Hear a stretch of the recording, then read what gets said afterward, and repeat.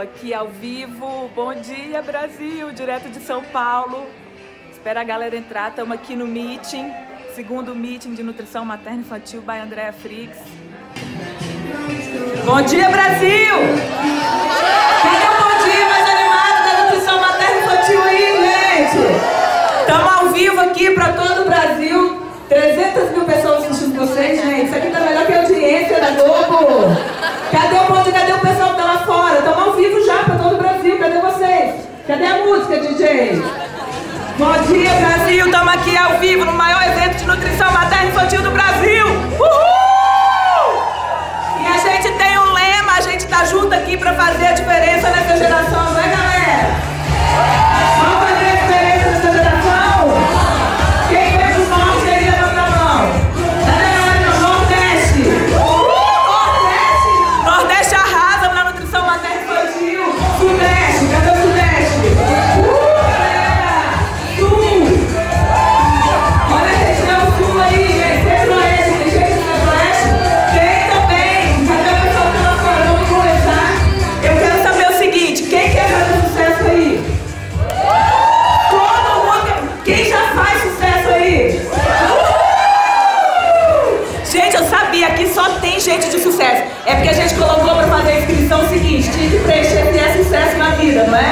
Se for sucesso, pode vir.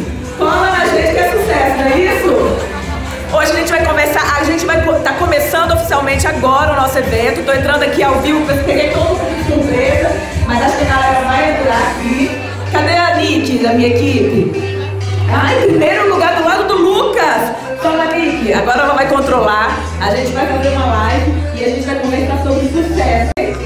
Quero saber quem faz sucesso aí mesmo ou não. Eu quero conversar muito com vocês ah, sobre esse assunto. Engraçado que quando a gente pensa em fazer uma palestra sobre sucesso, a gente fica meio tímida. Até eu sou mais cara de pau, fico um pouco tímida.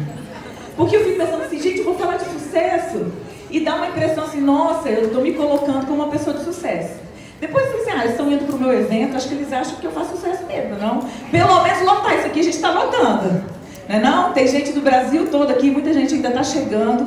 E eu estou muito feliz em ter vocês aqui comigo. Esse é um projeto que nasceu no coração de Deus, na verdade. É um sonho que Deus sonhou para essa nação, para esse planeta, para essa geração. Eu não tenho dúvidas disso. E nós todos fazemos parte dessa história. A minha história com a nutrição materna infantil começou com a minha filha. A maioria de vocês conhece a minha trajetória. Mas a história da nutrição materna infantil na vida de vocês provavelmente começou de uma outra maneira. E que não é melhor nem pior, é tão linda quanto. Porque cuidar da saúde dessa geração, cuidar da saúde das crianças, tem tudo a ver com o plano de Deus para a humanidade. Nós podemos fazer tudo, mas se nós perdemos as nossas crianças, nós não teremos sucesso. Se nós perdemos os nossos filhos, nós não teremos sucesso. Não adianta a gente ganhar o mundo todo e perder a saúde das crianças dessa geração. É por isso que antigamente, se a gente fizesse um evento de nutrição materna infantil, a gente não colocaria 20 pessoas numa sala. As turmas de pós-graduação em nutrição materna infantil que existiam no mercado e algumas que existem no mercado colocam 20, 25 alunos na turma. E a gente faz uma turma, tem aluno do Acre. A gente faz uma turma, tem um cara lá de Macapá. Como que é o nome do outro lugar que veio onde eu falei que eu sou assistindo a Casa das Sete Mulheres? Lá no Sul? Farroupilha, Tcheia! Por que isso? Porque é um evento, é um movimento que traz uma energia positiva, que contagia as pessoas que estão ao nosso redor, que contagia esse sistema todo, que retorna para nós e que faz a gente prosperar. E esse evento, ele não está relacionado a mim nem a vocês. É um plano. É um plano para recuperar, para promover a saúde das próximas gerações. Quem está adoecendo hoje? As crianças.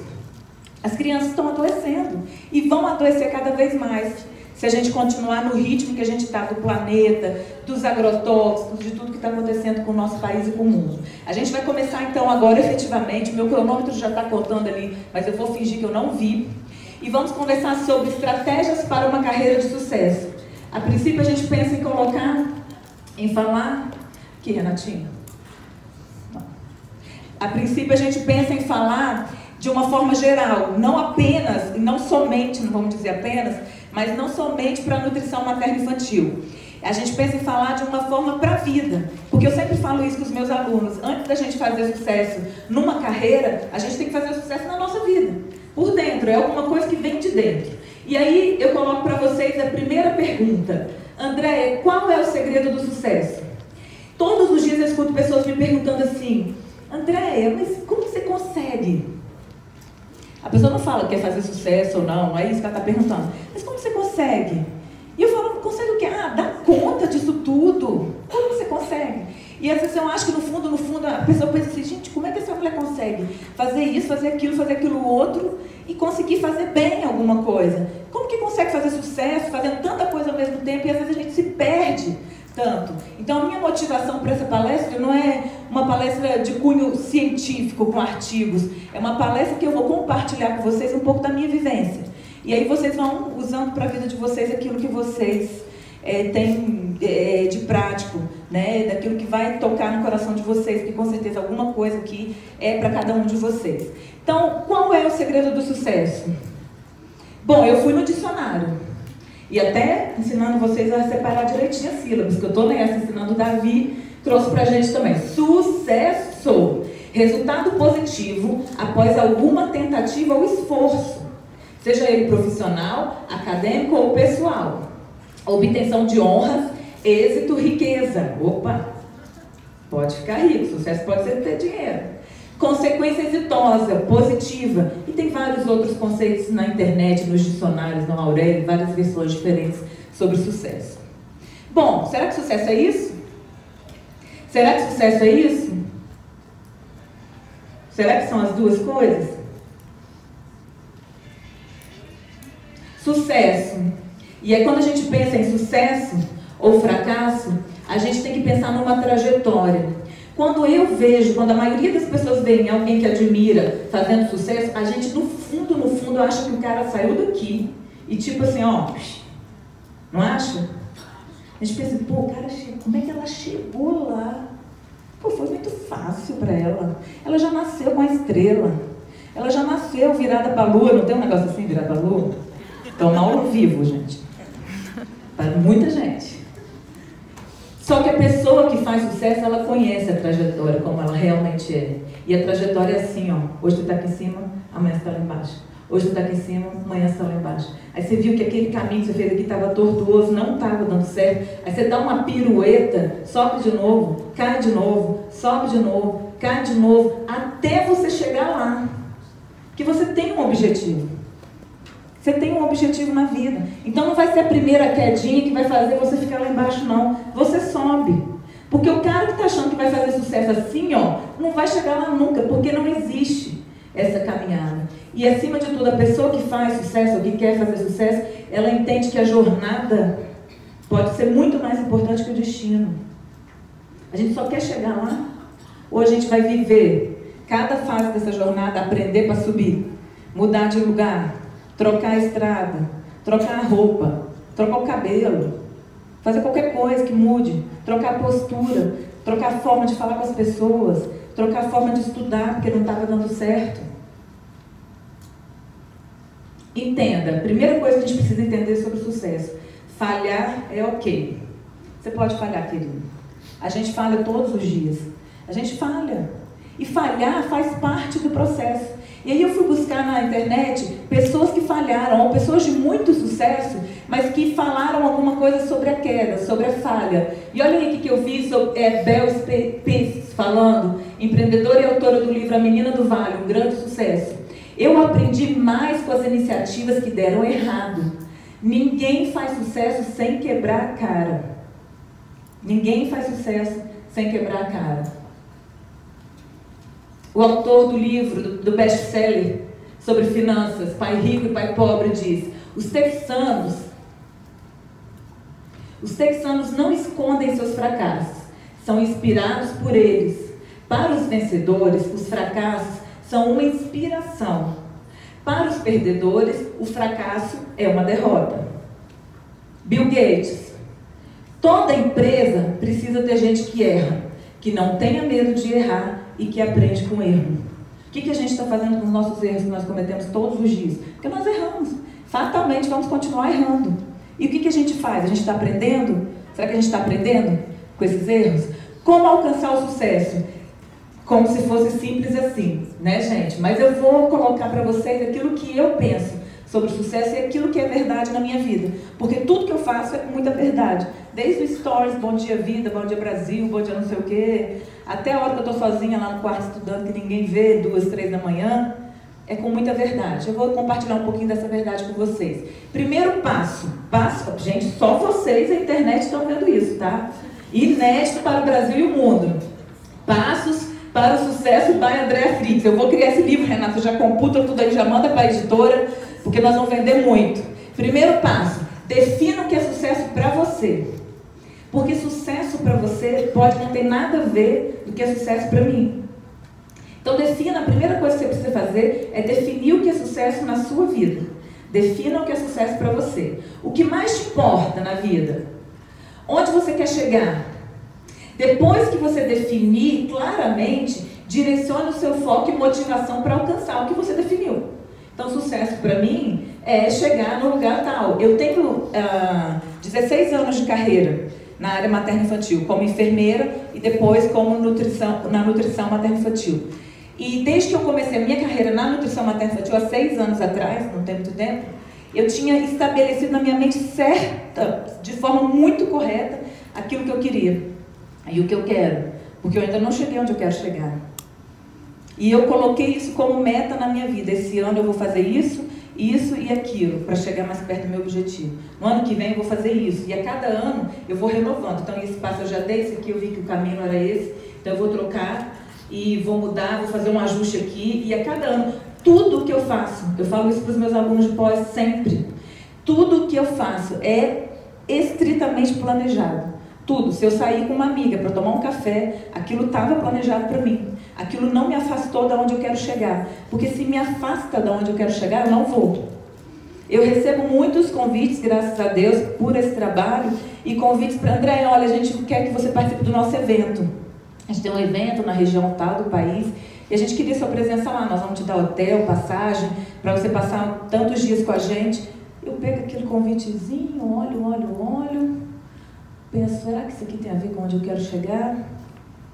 Não, será que eu vou? Será que eu não vou? Consulto a minha equipe, porque ninguém faz sucesso sozinho. E a gente pensa junto. E se eu chegar à conclusão que aquilo não tem a ver com o meu objetivo, eu não vou. E eu falo, olha, eu te agradeço muito, seria incrível, eu sei que o evento vai ser maravilhoso, mas eu não vou. Não vou poder ir. Ah, mas por quê? Mas só se você quer um cachê, então a gente vai te pagar. Não, não faz parte do meu plano, eu não vou. Isso não é presunção, não é pretensão, não é nada. É porque eu tenho um plano maior. E se eu ficar fazendo tudo que me desvia desse plano, eu não vou chegar lá nunca. E às vezes faz parte para eu chegar nesse plano, passar um final de semana com os meus filhos. E eu preciso disso. Porque eu não posso ganhar o mundo todo e perder minha casa. E eu preciso cuidar dos meus. E, e, isso faz parte do meu plano, com certeza. Eu não vou chegar num lugar de sucesso se eu perder os meus filhos. Se eu não vir eles crescendo. Então não vão. Se você não tiver em mente para onde você vai, filho, vão surgir os convites, você vai se perder todinho. Às vezes convite com chá de panela vai te atrapalhar, porque era aquela noite que você ia ter uma inspiração para escrever aquele capítulo fenomenal do seu livro.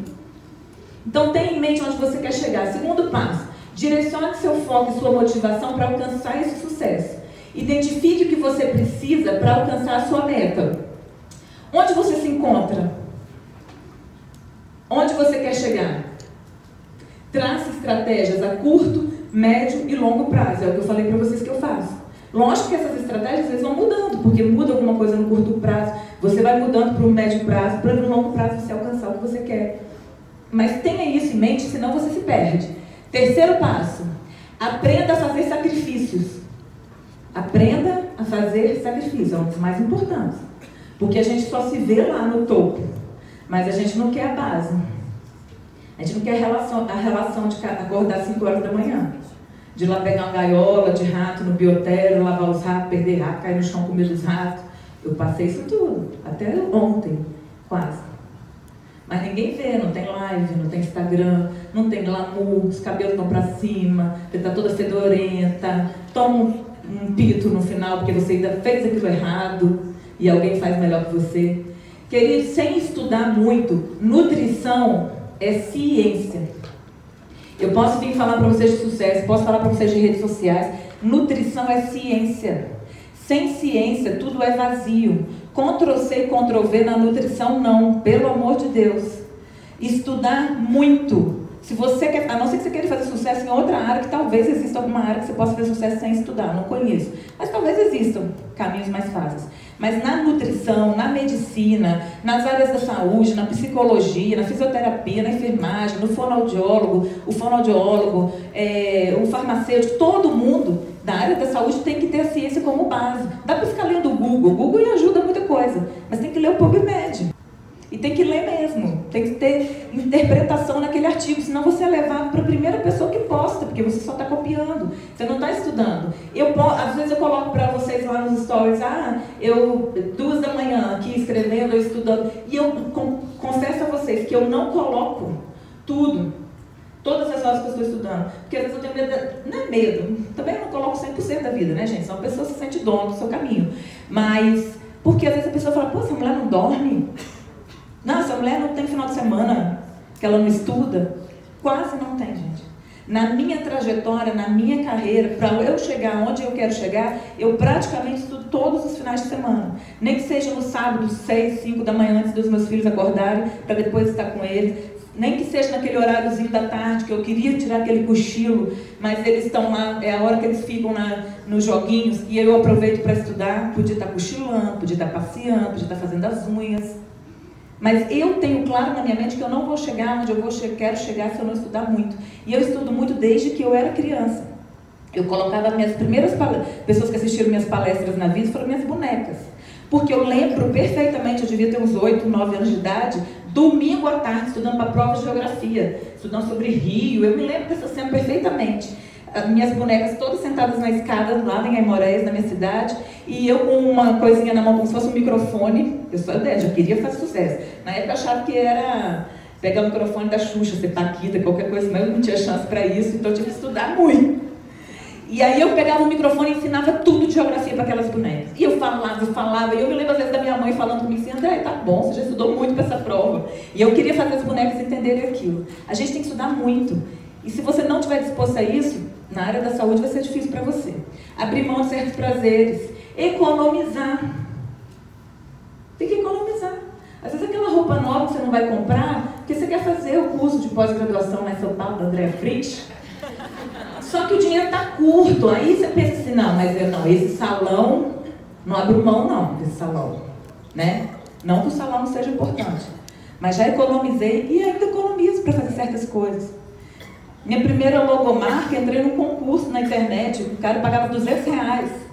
Primeira logo da nutrição, há, sei lá, seis anos atrás. Entrei no concurso, meu marido descobriu uma, faz aqui pelo Google, tem uma empresa online de jovens, estudantes, que se você coloca o que você quer, eles fazem um concurso, você paga 200 reais e você escolhe uma das logos. Eu falei, opa, 200 reais eu tenho. E fez minha primeira logomarca. Investi em graduação, pós-graduação, congresso, eventos, marketing digital. Eu me lembro que desde que eu entrei na nutrição materno-infantil, eu frequento uma média de sete congressos por ano. Sempre um ou dois internacionais. E eu não, nunca ninguém me deu dinheiro para isso, tá, gente? Às vezes as pessoas, pessoas que não entendem, não conhecem a história, falam, ah, mas deve ser o marido dela, deve ter casado com um homem rico, não é assim? O povo não gosta de falar assim? Mas eu me orgulho em dizer que eu vim de uma família simples, do interior de Minas Gerais, um pai agricultor, uma mãe professora. E eu me lembro claramente da minha mãe juntando tudo que ela tinha de dinheiro para dar alguma coisa para gente. E eu me lembro, quando eu era criança, das minhas amigas, todo mundo de roupa nova, e eu tinha aquelas mudinhas de roupa ali. E eu não ia em Colatina, porque o chique era em Colatina comprar roupa. Mas eu não ia em Colatina comprar roupa, porque eu não tinha condição financeira para isso. E eu me orgulho muito disso. Hoje eu tenho marcas e empresas que querem me vestir. Ó, oh, veste fashion. veste beijo, eu amo você. Porque querem associar o nome deles ao meu nome. E quando eu fui estudar, eu tinha em mente que eu queria estudar, estudei escola pública a vida inteira, com o mesmo amor que eu estudei em qualquer outra escola, e aprendi muito nessa escola pública, onde minha mãe era professora. E eu me lembro que naquela época o chique era fazer festa de 15 anos. Todo mundo queria fazer festa de 15 anos, daquela manga bufante. Pelo menos eu não paguei esse mico, porque eu falei para a mãe, mãe, O dinheiro que você vai usar para fazer uma festa para mim, eu queria que você guardasse para me deixar sair para estudar. Porque se eu continuar aqui, eu não vou conseguir passar na Universidade Federal. Então eu queria que você não me desse a festa e que você pegasse esse dinheiro e investisse para eu sair para estudar. E a minha mãe fez isso. Fez uma festa simples e me, me deu condição de estudar. Meu pai já tinha dito que do bolso dele não saía um real para sair para estudar. Embora ele fosse muito amado, maravilhoso, ele era um homem da roça, ele não se importava com isso. E a minha mãe fez isso, fez todo o sacrifício com dinheiro de professora, ajudando a manter a casa, e me mandou sair de Aimoré, fui morar em Governador Valadares com 16 anos, para fazer o segundo ano do ensino médio. Eu tinha 15 anos ainda, e ia completar 16 anos lá naquele ano. E eu me lembro que eu fui estudar, e eu me lembro que na, né, eu morava numa república muito pequenininha, morei nove anos em república, e era uma kitnet com quatro mulheres, e eu colocava as minhas roupas numa caixa de papelão pequena, eu também não tinha muita roupa, não fazia diferença. E eu comprei um papel crepom rosa, porque eu falei, se é para pôr roupa na caixa, vai ser com estilo. Encapei essa caixa toda linda, guardava minhas roupinhas ali, colocava debaixo da minha cama, porque eu não tinha uma gaveta para guardar minhas roupas. Eu não conto isso com miséria nenhuma, eu conto super feliz. Eu era tão feliz quanto eu sou hoje. Só que eu aprendi a fazer sacrifício. E eu aprendi a investir no que era importante para mim. E até hoje eu penso, isso é importante, isso vai me ajudar a chegar onde eu quero chegar, então eu vou investir nisso. Senão, eu não vou investir. Se quiser voar mais alto, leia e fale inglês. Não dá, gente. Não dá para falar. Não dá para. Se você não lê inglês, você já está fora da questão científica. Você tem que ler inglês. E se você quiser voar mais alto ainda, fale também inglês. Não perca tempo com o que te afasta da meta convite, conversas não edificantes. Você vai perder uma tarde fofocando. Vai chegar a lugar nenhum, não, filho. Mulher adora fofocar. Pelo amor de Deus. Eu fico pensando nessas três horas que eu já tinha ido com meu filho no parque, eu já tinha escrito um artigo, eu já tinha lido aquele negócio, eu tinha visto alguém que eu amo no stories, que fosse me distraindo, passando. Mas é uma coisa que me relaxa, então me faz bem. Agora, ficar parada, falando mal da vida dos outros, além de atrair uma energia negativa, te afasta muito da sua meta. Você não vai colher nada de bom com isso. Se as mulheres parassem de gastar tempo fazendo fofoca, futrica da vida dos outros, já iam muito mais longe. Eu não tenho tempo para isso. Eu não tenho tempo para isso. Preguiça, ociosidade. Gente, preguiçoso não faz sucesso. Jamais. Como diz a Bíblia, vai ter com a formiga preguiçoso. Preguiçoso não faz sucesso, não. Ah, estou pensando em pegar aquele voo para ir lá estudar com você. Nossa, vou voltar na segunda quebrado. Vai não, filho, fica em casa. Você já está fora da minha seleção natural. É por isso que no mestrado, de, depois de sofrer muito, eu entendi isso, quando eu entrei no grupo de estudo na Universidade Federal do Espírito Santo, é, a gente apanha tanto quando entra, mas tanto. Um dia eu cheguei na reunião, tipo, destruída, e isso eu já tinha, já tinha muitas pós-graduações, já era professora universitária, eu já tinha meus filhos, já tinha livro escrito, mas entrei lá no final da fila, então fui apanhando, porque todo mundo que entrava no final vai apanhando. Um dia eu cheguei na reunião e falei, meu Deus do céu, o que eu estou fazendo nesse lugar? Todo mundo que tinha entrado comigo já tinha desistido. Todo mundo. Os estagiários, a menina que queria disputar a vaga lá na mesa, todo mundo tinha saído fora. E aí eu lembro do meu professor, sabe, o nosso mestre, meu, minha grande inspiração, o professor Vasques, falando assim, olha, estamos aqui, né, gente? Muita gente desistiu. E eu lá, eu pensava assim, ah, meu, não sei se eu levanto meu braço agora ou depois. Mas vou aguentar mais hoje, só por hoje. Não tem aquela coisa? Hoje eu vou aguentar. Aí ele disse assim, ó, muito bom esse pessoal, né, ter desistido. Fiquei assim. É porque se a pessoa não aguenta pressão no início, não é para ficar aqui no nosso grupo. Falei, opa, eu aguento pressão. Vou ficar. Se o cara já desistiu nesses primeiros obstáculos, deixa ele sair, gente. Porque ele não vai aguentar. Ele não está pronto para isso. E eu aprendi muito com ele, fui ficando lá e fui ficando, graças a Deus, porque minha meta, eu precisava do mestrado, eu precisava do doutorado, e graças a Deus foi muito e é muito importante que eu chegue onde eu vou chegar. Quinto passo, crie sua própria identidade. Inspire-se em alguém, mas nunca copie ninguém. Vocês me veem copiando alguém, gente, na vida? Não copie ninguém. Sabe por quê? Ter inspiração é muito importante. Eu me inspiro em várias pessoas. Várias pessoas. Porém, copiar alguém além de ser errado, ser plástico, ser qualquer coisa, não vai fazer você fazer sucesso. Porque você só vai fazer sucesso se você tiver a sua identidade. O sucesso do outro não cabe na sua vida. Não é possível você fazer sucesso com a identidade do outro. Porque o que você tem de especial, o outro não tem. E talvez o que ele tenha de especial não é o que você tem. E as falhas dele são diferentes da sua. Então, quando você perde tempo copiando o cara, você estaria criando uma identidade incrível para você. Não copie. Quem copia já começa pagando mico desde o início até no Instagram. Seja ético. Crie sua identidade. Você não precisa. Se inspire, sim. A gente tem que ter inspiração. Cada vez mais, se inspire. Vai pegando o jeito daquela pessoa, naquilo que tem, combina com a sua identidade, a identidade que você está criando. Mas fuja dessa tentação de copiar alguém, porque não vale a pena. Sexto passo. Quando eu chegar no último, décimo segundo, já vai estar todo mundo fazendo sucesso aqui. Uhul! Uhul! Conheça seus pontos fortes e seus pontos fracos. Todo mundo tem ponto forte, todo mundo tem ponto fraco. Todo mundo tem ponto forte, ponto fraco. Não adianta. Você tem, eu conheço todo como ninguém, nem comento sobre meus pontos fracos. Mas eles estão ali, ordinários. Mas de vez em quando eu dou uma ajeitadinha aqui, melhor aqui.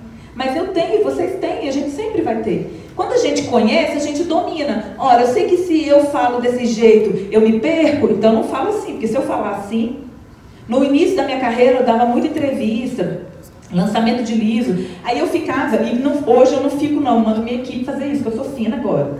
Mas antes quem ficava era eu mesmo, isso me fazia sofrer muito. Hoje em dia eu não assisto nada que eu faço. Eu não assisto DVD, eu não volto para assistir minhas lives, eu não assisto nem os stories, senão eu quero deletar tudo.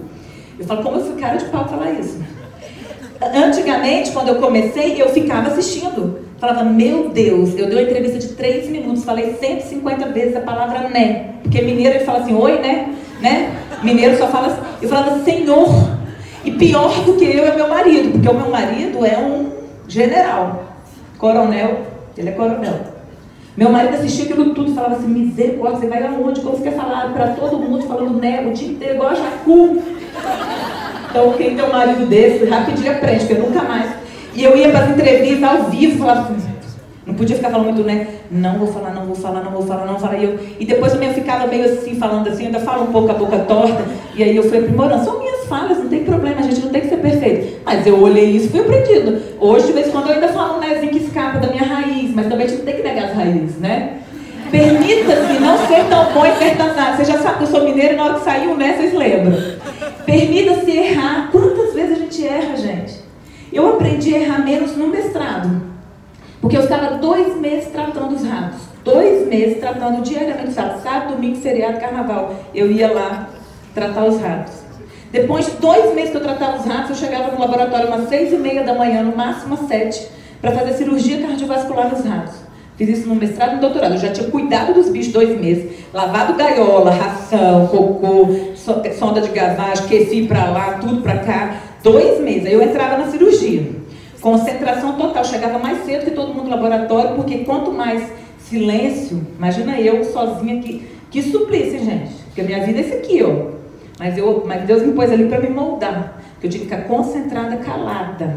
E eu começava às seis e meia, sete horas da manhã, buscava o rato no biotério, já tinha preparado as soluções, depois fazia todo o procedimento, fazia cirurgia nos ratos doentes.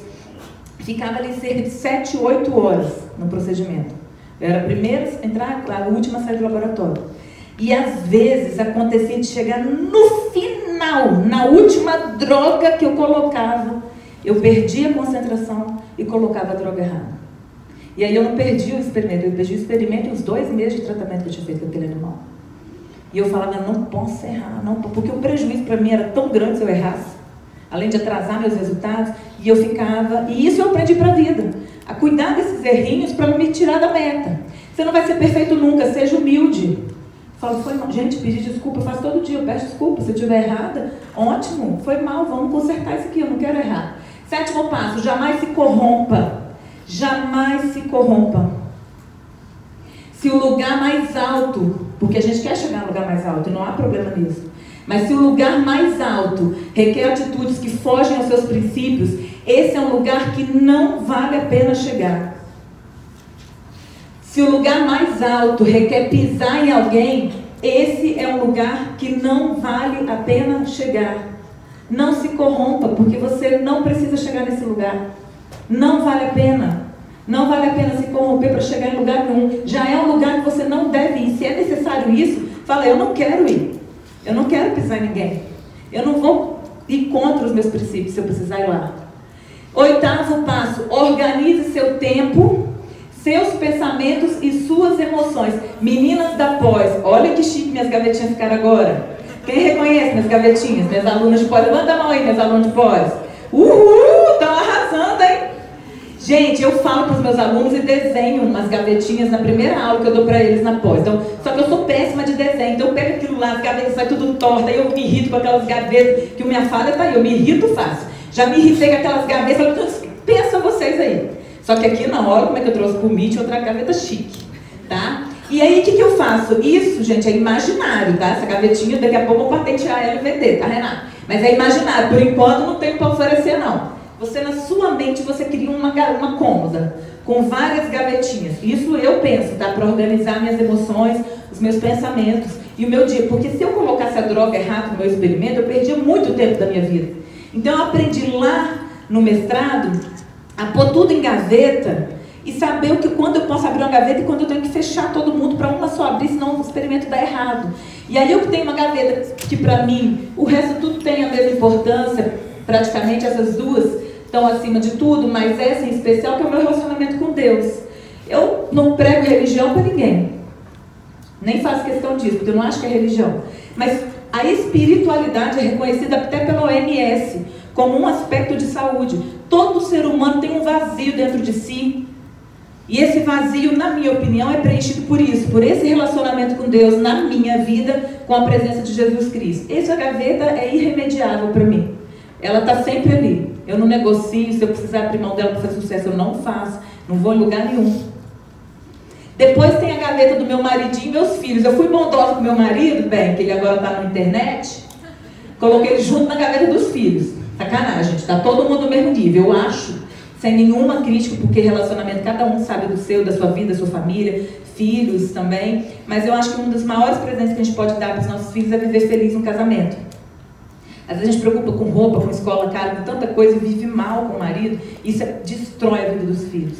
Então eu invisto no meu casamento. Eu só estou aqui porque eu tenho um marido nota mil, que eu amo, que me faz feliz, que está aqui. Eu falo que eu sou Andréia Frix, é merecido. O Frix é ele. Eu sou Andréia, o Frix é ele. E os meus filhos. Essas gavetinhas estão aqui. Aí eu tenho a gaveta da pós, nutrição materna infantil, das minhas palestras, dos meus livros. Agora eu estou escrevendo três ao mesmo tempo. Tem a minha gaveta de eu mesma, quando eu vou para academia, quando eu decido ir lá fazer a unha, quando eu saio para almoçar com uma amiga. Os meus consultórios em Vitória, consultório de São Paulo. O doutorado, que em nome de Jesus, amém, essa gaveta vai ser liquidada em breve, profetiza. e o mundo virtual. Eu acho que tem mais coisa para pôr nessas gavetas, mas eu cansei de pensar, só coloquei essas aí, que são as principais. E o mundo virtual. Aqui entra o pessoal da Like Market, agora que eu sou chique bem, que até então eu era sozinha na vida. Depois fui eu e Joelma, agora sou eu e uma equipe linda lá do Sul. Então entra site, rede social e tudo mais. O que, que eu faço com essas gavetas? Se eu abro uma, eu fecho a outra. Então, por exemplo, se eu tenho que ir lá ficar o dia inteiro fazendo cirurgia, eu falo para Dadá em casa. E é claro que tem uma equipe toda hoje que me ajuda isso, mas por muito tempo fui só eu e meu marido. Tá? E a Dadá. Dadá está desde o início. Mas o resto foi chegando depois. E aí eu falo para o meu marido, para Dadá, Dadá, hoje eu vou ficar o dia todo na UFES. Eu, agora eu nem preciso falar. Você já sabe. Então, se acontece alguma coisa com as crianças, tem uma urgência, elas ligam para o meu marido. Primeiro, a não ser que ele não fale ou que não resolva. Então eu sei que se tocar o meu telefone de casa, aí eu tenho que fechar as gavetas de tudo e resolver, porque não vai tocar. Às vezes eu saía do experimento tinha 197 mensagens de WhatsApp. Mas ficou ali guardada na gaveta, porque as gavetas estavam fechadas para o momento certo. E eu conto isso para os meus pacientes. Então, eu não, não tenho essa estante ainda para vender para vocês, não, mas cria de vocês na cabecinha de vocês. Abriu uma gaveta, tá feliz lá com sua amiga, você escolheu esse almoço, porque isso também é importante na nossa vida. Você está malhando, poxa, é importante cuidar da gente. Então, eu, eu, eu malhando ainda perco nas gavetas, tá? Porque eu canso de estar lá se precisar parar para fazer uma reunião com certas pessoas. Às vezes eles só podem falar naquele momento, eu paro e falo com as pessoas, só um momento. E faço a reunião rápida, porque aí, senão aquela gaveta fica me perturbando. Então eu abro aquela gaveta, resolvo, fecho e volto a fazer o que eu tinha me proposto a fazer. Tá? Mas sempre que possível eu tento organizar, mas elas perturbam às vezes o povo. Não é só fácil assim não, tá bom? Mas a gente tenta. Relacione-se. Não adianta saber muito e não encontrar as portas abertas. Você tem que estudar muito, tem, mas se, fosse, se você for mala sem alça, não vai abrir porta nenhuma para você. Se você é aquele cara chato do laboratório que enche o saco de todo mundo, que perturba todo mundo, as portas vão se fechar, querido. Porque você sabe muito, mas é um mala. E hoje em dia tem muita gente que sabe muito e sabe se relacionar. A concorrência está aí. Então você tem que ser bom, estudar e saber se relacionar. Porque o que abre portas é o relacionamento. Seja uma pessoa e um profissional ético. Se você pisar nos outros, você não tem ética, você vai chegar a lugar nenhum. Em todas as áreas da sua vida. Blinde-se. Ó que chique, saiu tudo da minha cabeça, gente. Foi inspiração essa palestra. No final eu estava nem digitando mais, eu já estava em pé falando. Eu falei, eu vou ter que digitar, não vou esquecer. Você vai ouvir muitos não. Andréia, você não vai chegar em lugar nenhum. Estou falando só coisa que eu ouvi. Não, minha filha, você não, você não acaba as coisas que você começa. Não sei por que eu ouvi isso quando era criança. Você não acaba. Sempre fui dedicada. Aquilo me feria. Não, minha filha, não tenha esperança para essa gravidez. Esse bebê é inviável. Não tenha nenhuma expectativa para esse filho. Na melhor das hipóteses, ele, você vai perder ele na barriga. Não, minha filha, não tem cura para sua filha. Ela tem uma síndrome muito grave. Acho que ela não vai passar dessa internação. Não, ninguém sobrevive de nutrição materna infantil no Brasil. Não, não. Nutrição materna infantil não dá dinheiro. Você não pode fazer um consultório especializado nisso, porque você não vai chegar a lugar nenhum. Eu falo que eu sou que nem massa de pão. Se eu apanhar, eu cresço mais. E apanhei, e apanho muito, estou crescendo, não tem problema, pode bater. A gente posta muito nas redes sociais aquilo que é bonito, e não é porque é falso isso. É porque não dá para você ficar despejando todos os problemas na vida na rede social. Eu acho que você nem vai perder os seguidores, porque também não tem essa preocupação. Mas você quer contagiar a pessoa com aquilo que deu certo, aquilo que dá resultado, aquilo que você acha que importa para a pessoa saber a seu respeito. Isso é que nem Deus, a gente não sabe todos os mistérios da vida. Né? Deus só permite a gente saber aquilo que tem a ver com a nossa história, com o projeto maior que Ele tem para nós. E é a mesma coisa. Mas se eu contar para vocês a metade do que eu já passei já passo, talvez muitos de vocês não vão querer chegar onde eu cheguei ou onde eu pretendo chegar. Porque a gente paga um preço muito caro. Você quer fazer sucesso? Pense. Quer fazer sucesso? Você está preparado? Você vai pagar caro. Não vem de graça, não. Aquelas quedinhas ali do desenho são muito fofas no desenho, porque na vida real você vai chorar. Você vai ajoelhar no chão e falar: Deus, eu preciso passar por isso. Se precisar, eu passo. Mas se não precisar, me poupo, porque dói pra caramba. Muitos vão tentar te machucar. A pessoa faz para te machucar, não tem outro objetivo. Ela quer te machucar porque ela acha que você chegou num lugar muito alto. Eu vou ferir ela para ela aprender que não é tão bom assim. Muitos. Às vezes pessoas até que vocês amam. As pessoas vão tentar te copiar. Isso aí a gente já está beijinho no ombro. Muitos serão injustos com você. Você faz tudo para ajudar o cara. E depois ele te dá uma pernada. Quem nunca? Olhe para cima. Quando isso acontecer com vocês, olhe para cima e olhe para dentro de vocês. O que a gente precisa para se blindar está em cima e está dentro da gente. É assim que a gente se blinda. E é assim que a gente consegue fazer sucesso. Olhe para cima e olhe para dentro. Porque é assim que você vai conseguir superar os obstáculos que a vida vai te trazer. Ame-se. Tem um mandamento bíblico que Mateus fala: ame o Senhor seu Deus de todo o seu coração, de toda a sua alma e de toda a sua mente. O segundo, e igualmente importante, é: ame o seu próximo como você ama a si mesmo.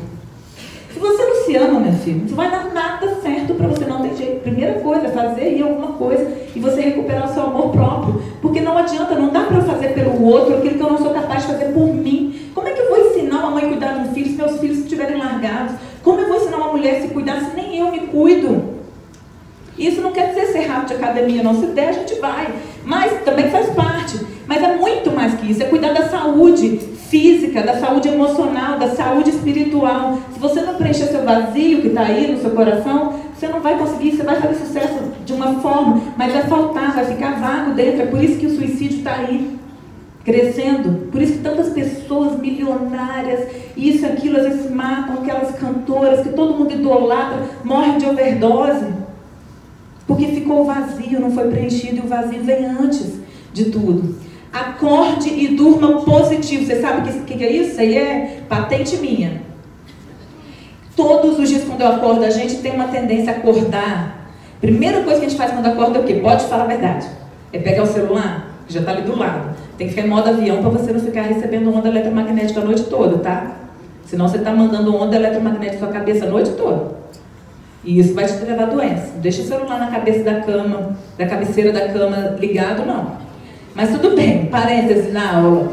Uh, seu celular tocou, despertou, a primeira coisa que a gente faz é o quê? Pega aquilo ali e abre, na rede social. Eu não.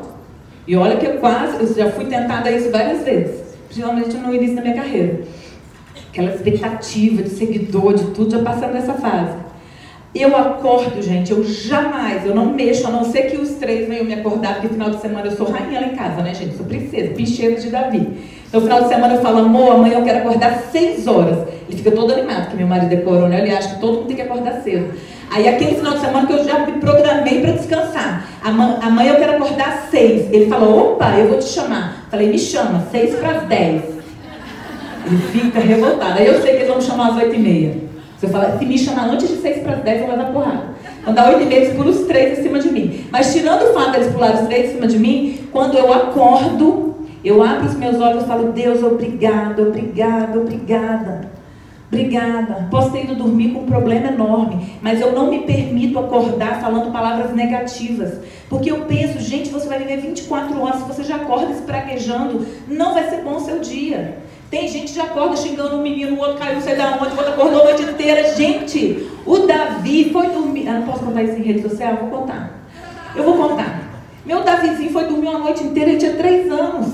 Eu, eu, na fila das crianças que não dormem, eu passei dez vezes. Nenhum filho meu dormiu. E eu, quando eu coloco, eu falo pro Miguel até hoje, eles acham graça, eu falo ordinário. Miguel, eu ia lá te colocar na metade, quando eu te colocava lá, e eu tinha feito uma cesariana, então quando eu me esticava na cama do lado, aquilo queimou tudo. Eu, ué, meu Deus, é delírio. Eu estou delirando, Senhor, me fala que eu estou delirando. Não é possível que essa criança acordou de novo. Quem nunca? Independente como foi minha noite, gente, eu durmo e acordo de forma positiva, porque eu quero que meu dia seja positivo. E a última dica aí da carreira, mas não estou acabando minha palestra, se virem no tempo, persevere.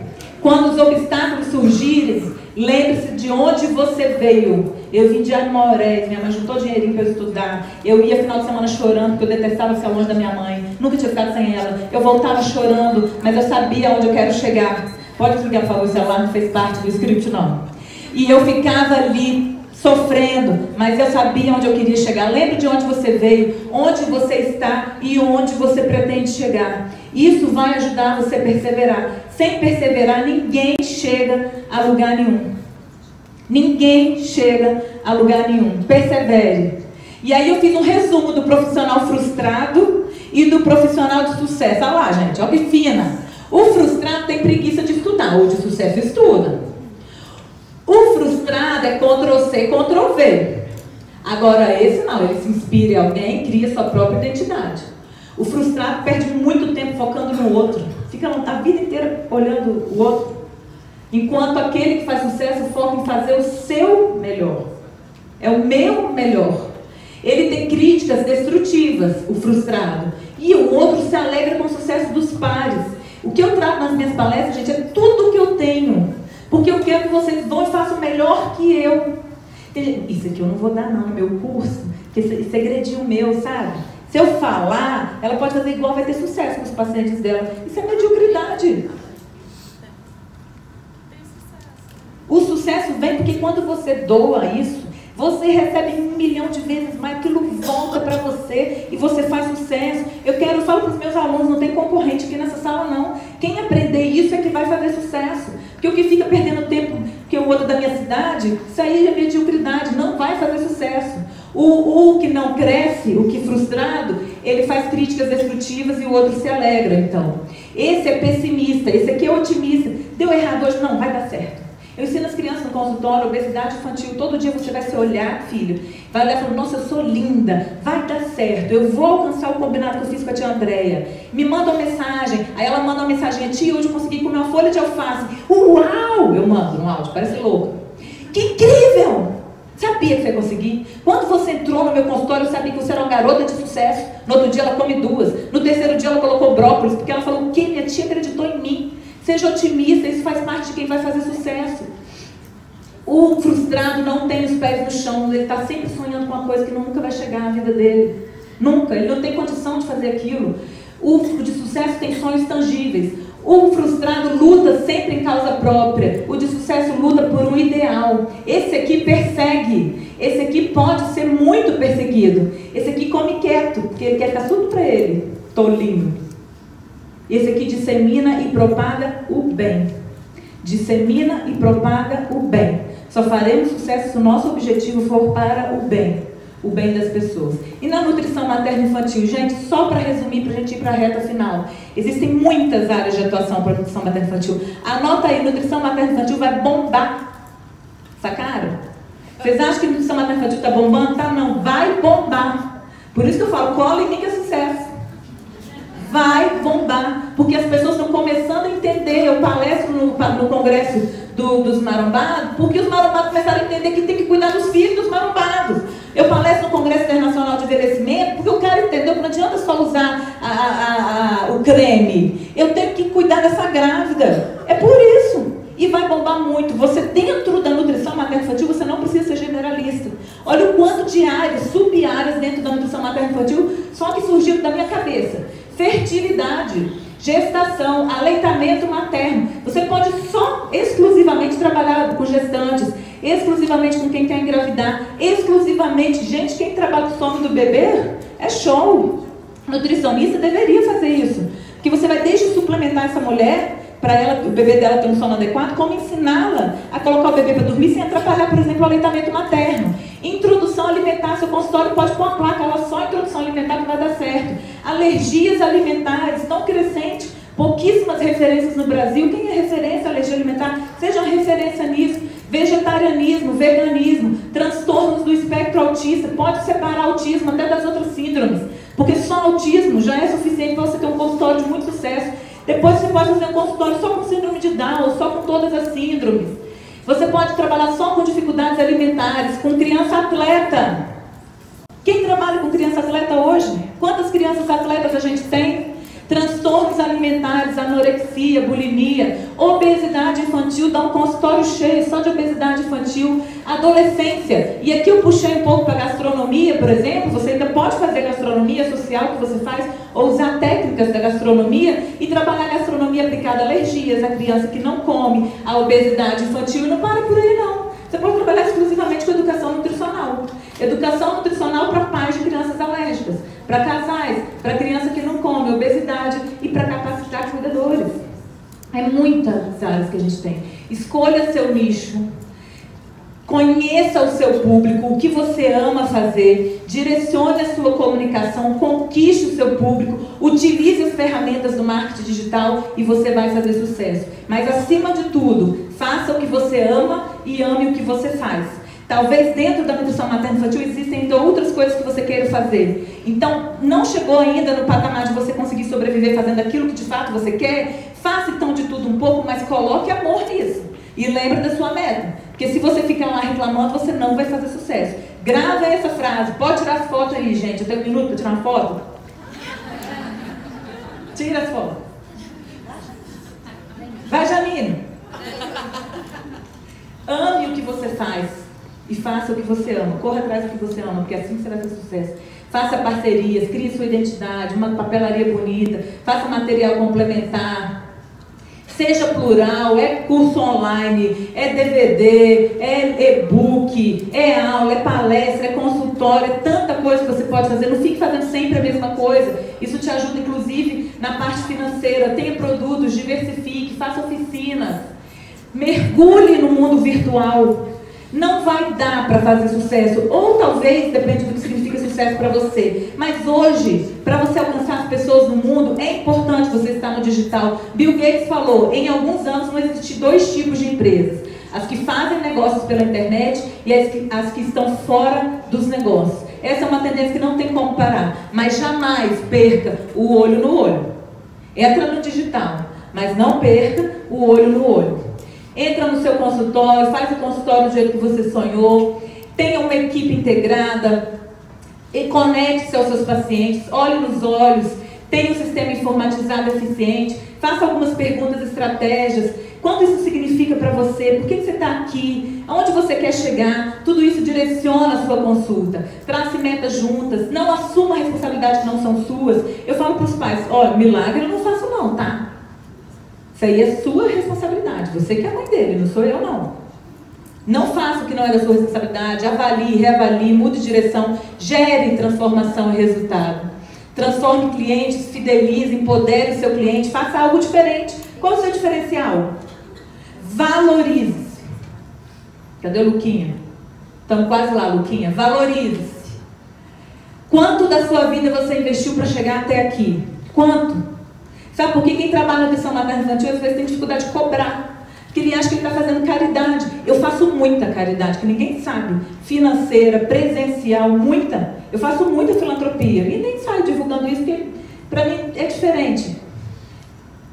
Ninguém sabe. Mas eu cobro pela minha hora. Quer falar comigo? Vai pagar minha hora. Quantos anos eu estou aí? 16 anos estudando, investindo em sete congressos por ano, tirando do meu dinheiro para pagar, deixando de viajar para poder estudar. Eu tenho que me valorizar. Quanto da sua vida você investiu? Quanto tempo? Quanto dinheiro? Se você faz algo diferenciado, só você faz, merece ser bem pago por isso. Não venda consulta, não venda plano alimentar, venda ferramentas para transformação. O que nós fazemos, gente, é transformador. Isso nem tem preço, porque se eu fosse cobrar quanto eu valorizo, quanto eu me valorizo, quanto eu mereço, você não ia poder pagar não, filho. E aí eu trouxe uma amiga minha para falar um recadinho para vocês. Aprenda também a lucrar e vamos ver o recado aqui da minha amiga para vocês. Perguntar a ela. Ó carinho de espanto, Gisele. Na entrevista que bombou aí na internet em 2015, está sempre viralizando. O cara teve a ousadia de perguntar a Gisele. Ela ficou que nem eu, irritada. Eu vi que a gente é parecida mesmo. Assim também. O entrevistador estava lá, tá, tá, tá, ele deu um furo. Ele do nada virou para ela assim, Gisele, in English. Você é melhor por causa da sua aparência? Você é a melhor por causa da sua aparência? Gente, ela fez essa cara assim, de tipo assim, não acredito que esse cara tá falando essa merda pra mim. Ele disse, ela disse o quê? De forma alguma. Não acredito nisso. Jamais. Aí ele pergunta, então qual foi o motivo de você ser a melhor do mundo? Eu acho que pela minha personalidade. Por nunca ter reclamado, sabe? Se eles disserem, Gisele, e ela falava igual trator, tá? Nervosa. Gisele, vai lá, está abaixo de zero. Vá com uma roupa de praia e comece a pular. Eu faço. Gisele, está 37 graus no Vale da Morte, vai fotografar de casaco. Eu vou. Aí ele falou, por que você age assim? Porque eu sempre quero dar o meu melhor. Se eu escolho dizer sim para algo, se alguém está confiando em mim, eu não vou desapontá-lo. Eu não sou esse tipo de pessoa. Eu sou uma pessoa que luta para ser o melhor que eu puder ser. Se eu for limpar o meu apartamento, ela depois tirou onda com ele. Se eu for limpar meu apartamento, você vai poder comer no chão. E ele deu uma risadinha sem graça, que ele sentiu que estava levando a bronca. Pode olhar na internet, vale a pena. Eu sou esse tipo de pessoa. Você entende o que eu estou falando? Tipo, eu sou babaca. Você acha que depois que eu faço tudo é só porque eu sou mais bonitinha que as outras? Ele disse, não, eu entendo, eu entendo, eu entendo. Ele ficou todo sem graça. Ela disse, seja lá o que eu for fazer, se eu usar o meu tempo para isso, eu não vou estar ali, se eu não puder dar 100%. Gente, tempo é o que nós temos mais precioso na nossa vida. Não desperdice seu tempo. Não desperdice seu tempo. Nada importa mais para você do que o seu tempo. Nada importa mais. Tempo não volta. É uma coisa que a gente não pega, não é palpável. André, que sucesso mesmo? Quando eu fiz essa pergunta para mim, porque eu estava falando que era sucesso para você, não tinha definido ainda o que era sucesso para mim, fiquei estressada. Gastei uns 30 minutos, chorei, paguei lágrima. O que, que é sucesso para mim? O que, que é sucesso para mim? E aí eu fiz, vou ler para vocês aqui o que eu acho que é sucesso. Primeira coisa que veio na minha mente foi isso. Depois fui eu ali emocionada, lembrando quando eu tinha dois aninhos, a carinha do Davizinho ali. Lembrei de mim com os meus maridos, meus filhos, eu e Marina, e eu, aonde me leva para onde eu quero chegar. Para mim, sucesso é a colheita, são os frutos. Consequência de algo que carregamos dentro de nós e que nos impulsiona a ter atitudes que dão certo. Pode ser ficar rico, pode ser ficar rico. Mas pode ser não ter nada a ver com isso. Pode não ter nada a ver com isso. Pode ser ir longe, rodar o mundo, mas pode ser jamais ter saído da sua cidade. Se o que te move é lindo, é forte, é poderoso e busca o bem, você terá um resultado tão incrível que fará as pessoas se atraírem a você. O bem atrai. E se você for capaz de dar o seu melhor, perseverar e tiver sabedoria, você chegará lá